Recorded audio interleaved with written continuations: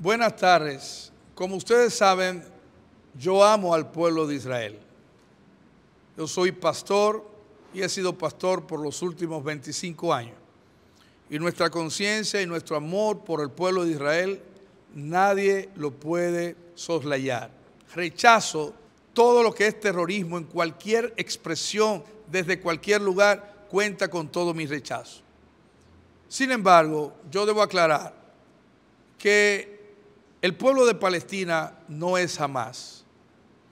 Y que la aprobación que ha hecho la República Dominicana a favor de que ese pueblo tenga un asiento de expresión en la ONU no representa para nada que República Dominicana o que el presidente de la República esté votando en contra de Israel.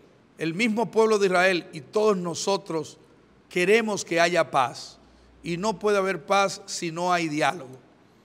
En ese sentido, nosotros nos sentimos profundamente apenados por el hecho de que muchas personas, muchos hermanos, algunos por inocencia y otros por manipulación política, han querido hacer ver que votar a favor de esa moción es votar en contra de Israel. Y es penoso que la gente se dedique a manipular la mente a día de las elecciones y nosotros sabemos de dónde viene eso. Luis Abinader y este gobierno no han sido los únicos que han votado a favor de esa moción. Eso es una moción que desde que nace, desde que nace el pueblo de Israel, la República Dominicana ha sido coherente en entender que eso debe existir. De hecho, en el año 2023, uno de los candidatos a la presidencia de la República, que muchos de nuestros hermanos defienden, promovió el establecimiento y la convivencia de dos estados en un mismo territorio. Así es que nos apena, y lo reiteramos, el hecho de que se use eso como una herramienta política y manipuladora a fin de distorsionar la mente y la preferencia de nuestros hermanos.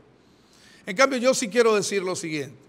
No creo que haya existido en la República Dominicana presidente alguno que haya respetado tanto el pueblo de Dios y sobre todo a los evangélicos y al mismo pueblo judío como lo ha hecho Luis Abinader.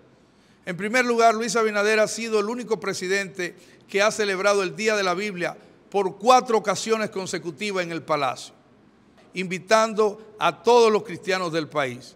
Luis Abinader ha aportado y ha apoyado a más de, más de 3.000 congregaciones en la República Dominicana durante este cuatrienio.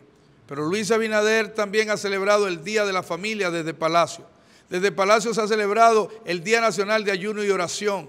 Desde Palacio se ha celebrado declaración de República Dominicana, nación de Dios. Pero una de las más grandes expresiones de que Luis Abinader respeta el pueblo de Dios y sobre todo el pueblo evangélico es que por primera vez un pastor evangélico es el alcalde de la ciudad más grande y más poblada de la República Dominicana. Esos son hechos verdaderos.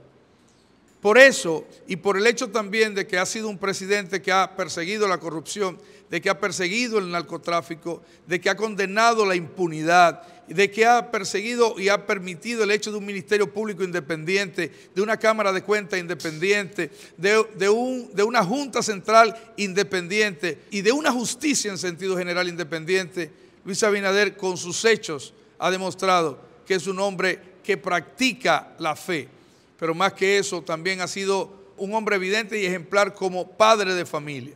Es por ello que nosotros queremos decirle al pueblo dominicano, aquí estamos un grupo de pastores, presidentes de concilio, como nuestro hermano Flavio Rosario, que es presidente del concilio de la Iglesia de Dios de la Profecía, como también se han expresado otros, como el hermano Jorge Duarte, presidente de Conedo.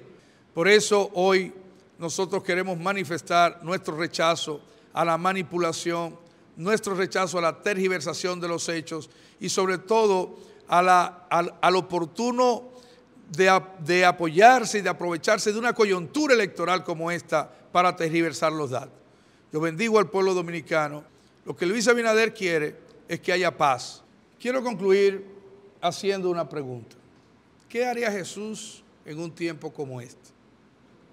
¿Qué haría Jesús para mediar entre dos naciones?